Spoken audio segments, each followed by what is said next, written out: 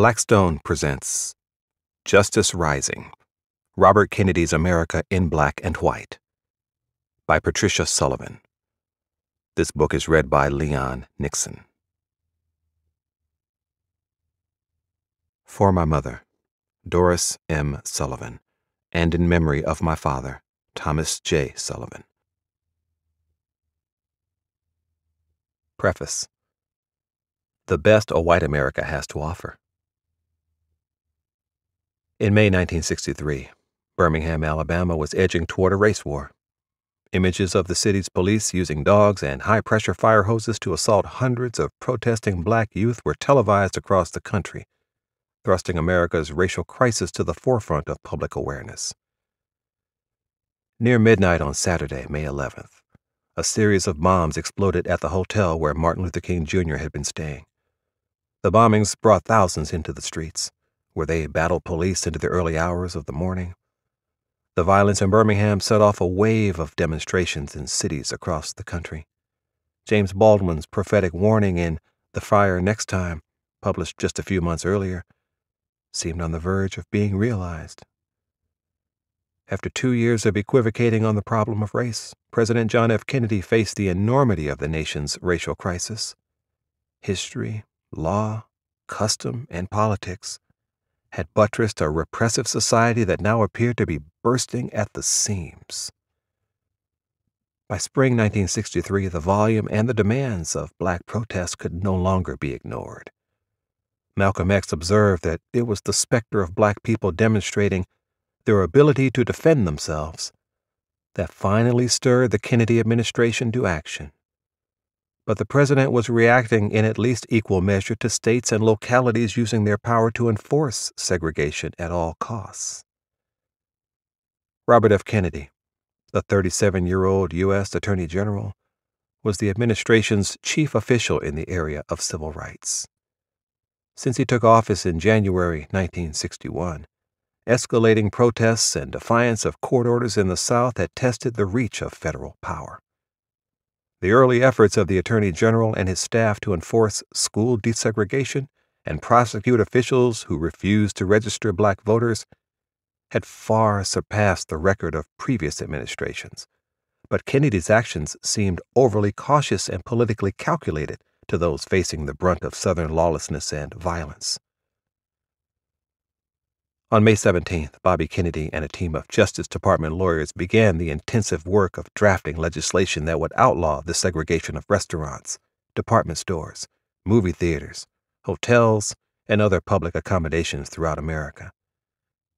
The Attorney General worked with his brother and his team to devise a strategy capable of defeating a filibuster led by Southern Democrats, a feat few thought possible. At the same time, Bobby embarked on endless rounds of meetings, in Birmingham, Washington, and New York, with business and labor leaders, civil rights advocates, and elected officials.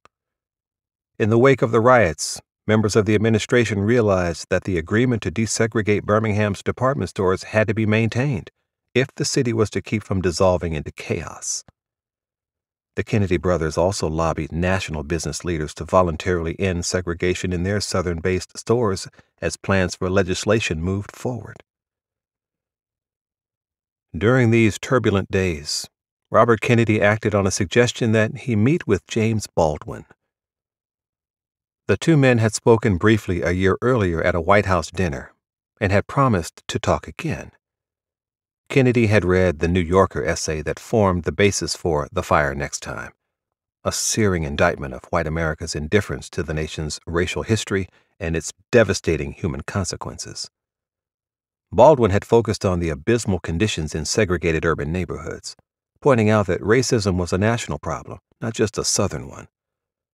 The brutality with which Negroes are treated in this country simply cannot be overstated, he wrote however unwilling white men may be to hear it. Nothing less than a national reckoning would make it possible to end our racial nightmare, he suggested, and achieve our country. Featured on the cover of Time magazine on May 17th, the 38 year old Harlem born writer had emerged as the literary voice of the civil rights movement.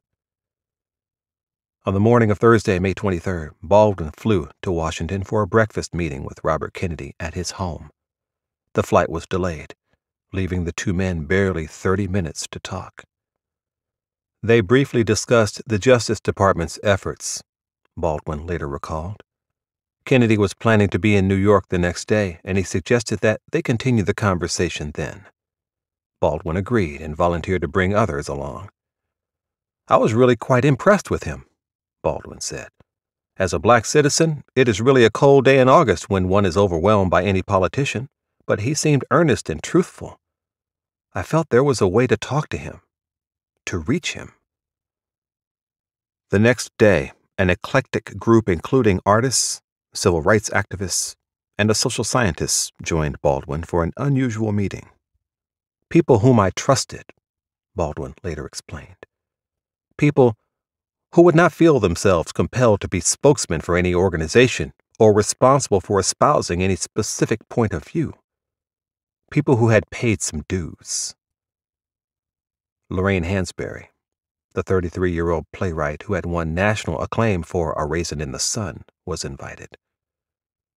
Her 1959 dramatization of the struggles of a black family on the south side of Chicago was the first play by a black woman performed on Broadway. Another attendee was Lena Horne.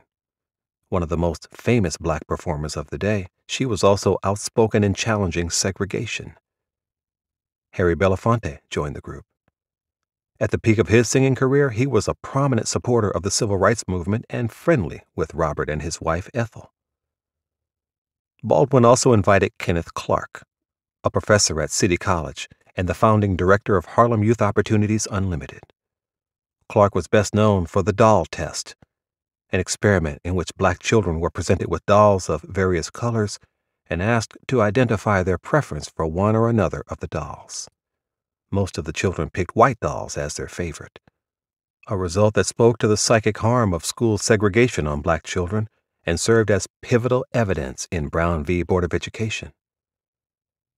Barely notified of the meeting before it was underway, Clark worried that he would not have enough time to prepare. Just come and talk, Baldwin told him. Others at the gathering included Edwin Berry, the executive secretary of the National Urban League branch in Chicago, Clarence Jones, an attorney who advised Martin Luther King, Baldwin's brother, David, and Rip Torn, a white actor and Texas native who was Baldwin's friend.